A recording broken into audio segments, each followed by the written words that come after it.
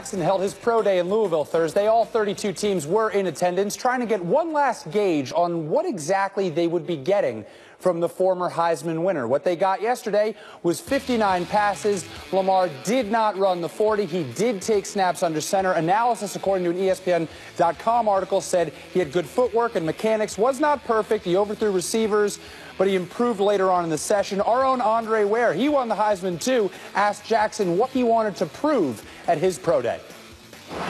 Oh, well, prove, you know, I can throw any pass from under center. You know, um, I guess, you know, my center helped me out a lot. You know, he came down right. from Florida, came down, helped, um, helped me out to Bayou Hughley. Um, I just felt I needed to show them guys I could throw each ball, you know, from center. That's Good all. stuff. There have been some naysayers, obviously, and you've heard the critics and things of that sort.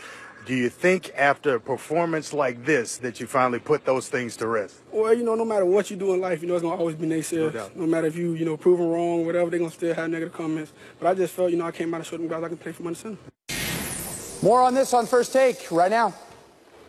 That's the truth. So according to Monday Morning Quarterback, teams having a hard time getting anyone from Lamar Jackson's camp to return phone calls because he doesn't have an agent and his mom's currently acting as his manager or momager. Stephen A., is Lamar Jackson helping or hurting his draft stock with this?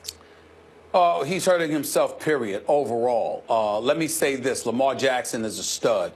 Uh, over 3,600 yards passing with 27 touchdowns, 10 interceptions, over 1,600 yards rushing. I think he averaged nearly seven yards a carry. The kid is special. He's a special talent who I believe should be an NFL pick, arguably a first round as far as I'm concerned. I think he should be a first round pick.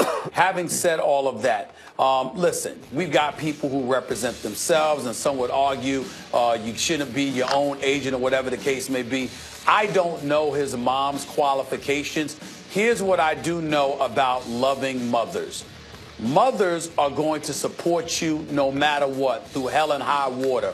And rarely, if ever, do they possess a level of objectivity about you. Now, some would argue that's what an agent is supposed to be like themselves. But when it's your mom, obviously, that reality is elevated exponentially. And so when we take that into consideration, just think about going to a negotiating table, Max, and you're an executive sitting across from the mom of a potential player you're trying to you sign on board. Like a good idea. Well, well, well, well, listen, excuse me. Yeah, yeah, yeah, I understand that, but until you sit up there and it's like, how you gonna tell him, look, he can't do this, he ain't worth that. Yeah, Look, yeah, yeah, yeah. There's no argument. There's no objective business argument that you're capable of having with somebody's mother. I think that's a very precarious position for Lamar Jackson to be in, and I don't like it at all. Look, um, it's called show business, not show family, for a reason. And it's the same thing with Kawhi's uncle or whomever, right? You, you know, Eli Apple and Annie Apple, you, you, you think, not that she represents him, but you think get an agent, get a professional who, you, as you said, has experience and can remain objective in terms of not about you, oh, sure, I don't care about the client, but about the circumstances so that he can get you the best deal or she can get you the best deal. But the fact of the matter is, Lamar Jackson's uh, Lamar, Lamar Jackson's uh, stock is on the rise, and it's on the rise because before the draft, quarterback stocks are always on the rise. The question to ask here is why does his have to rise so much in order for him to be considered maybe a first round pick? The game tape on him is really good.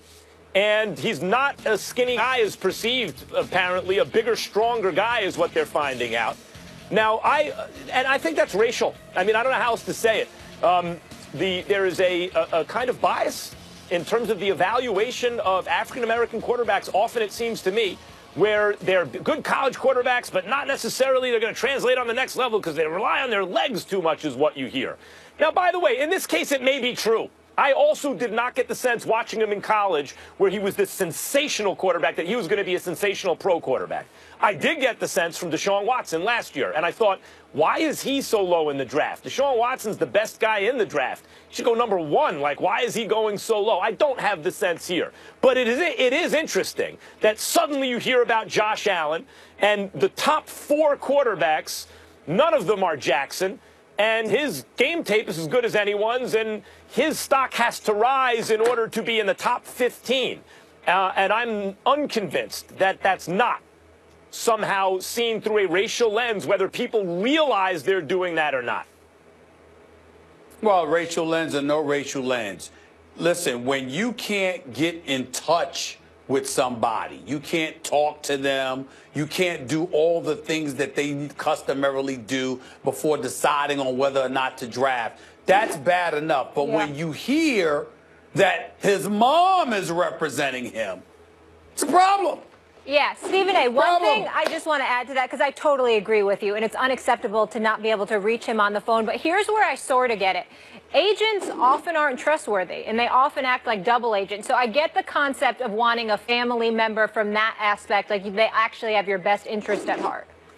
All right, well then have them in the room while the or have the you know have, have the agent, but have the relative in the room with the agent. But just to have the relative, I'm just saying, where you're Yeah. the go-to person for everybody. Uh, listen, the best ability is availability, and they're saying he's not available. That does not make him Here, the good. point is the agent would want Lamar Jackson to go as high as possible, right? So he, they would tend to know the ins and outs through experience of how to position the client that way, probably better than the client than, than the player's parent does.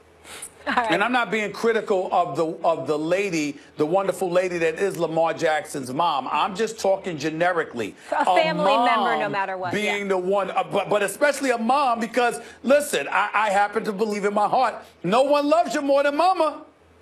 No one know. loves you more than mama. I So think, it's, it's not just a relative, it's mama. word about that. It's ma- okay, that's right, that's mama. All right, mama. guys. Gotta leave it there. Point heard. Coming up. You talking about my boy Is like that? Michael Jordan the most influential player to ever play the game? Somebody at the desk says no. Find out after the break. He's the best.